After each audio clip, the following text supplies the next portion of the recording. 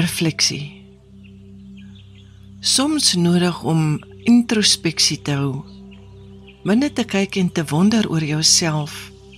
Niemand anders se saak nie, net joune alleen.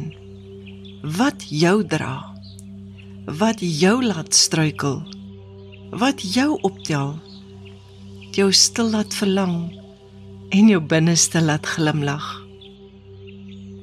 Ook tyd om te kyk wat jy vir ander werklik beteken.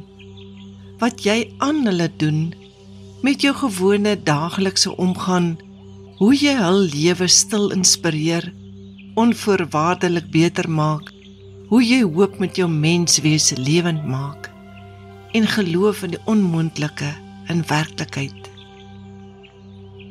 Dit is soms nodig om stil te word in jouself. Dit bymekaar te bring wat jou rede gee om te doen wat jy doen.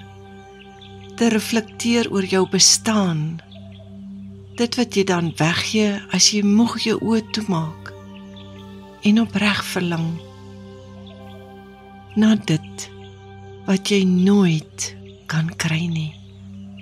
Geskryf deur Peer van die Kerk, gelees deur Margaret Bennett.